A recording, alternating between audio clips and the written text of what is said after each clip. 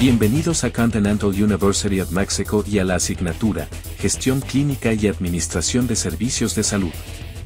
A lo largo de esta asignatura, el estudiante implementa estrategias para sistematizar y ordenar los procesos de atención de la salud en función de evidencias científicas y con la participación de profesionales en la gestión, para generar viabilidad económica.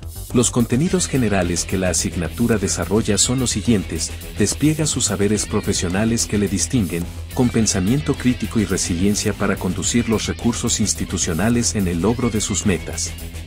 En cuanto a los contenidos específicos el alumno, contrasta y selecciona modelos de vanguardia en administración de instituciones de servicio salud, para instrumentar procesos de mejora continua tomando en cuenta los principios de sustentabilidad, sostenibilidad e inclusividad.